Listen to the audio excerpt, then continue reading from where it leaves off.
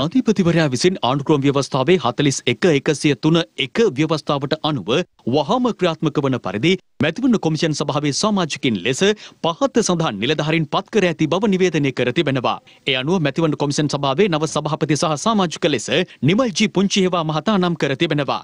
සෙසු සාමාජිකින් සිව් දෙනා වන්නේ එම්.එම්. මොහොමඩ් මහතා, එස්.බී. දිවාරත්න මහතා, කේ.පී.පී. පතිරණ මහතා සහ ජීවන් ත්‍යාගරාජා මහතායි. මැතිවරණ කොමිෂන් සභාව සඳහා පත්කර ඇති ඉහත නම් සඳහන් සභාපති ඇතුළු සාමාජිකයින් දෙසැම්බර් මස 10 වන දින එනම් හෙට දින සිට රාජකාරී ආරම්භ කිරීම සිදු කරන බව මැතිවරණ කොමිෂන් සභාව විසින් නිවේදනය කරන බව මැතිවරණ කොමිසමේ කොමසාරිස් ජෙනරාල් සමන් ශ්‍රී රත්නායක මහතා පවසනවා. නිල කාලය අවසන් වීමත් සමගම හිටපු මැතිවරණ කොමසාරිස් මහින්ද දේශප්‍රිය මහතා ඇතුළු සමාජිකින් තිදෙනයි නිවත්වීමට කටයුතු කළ අතර නව ව්‍යවස්ථා සංශෝධනයට අනුව එහි සමාජිකින් සංඛ්‍යාව පස් දෙනෙකුගේ දිනපතා අලුත් වීඩියෝ සහ ප්‍රවෘත්ති නැරඹීමට ඉහත බටන එක ක්ලික් කර සියත TV සබස්ක්‍රයිබ් කරන්න.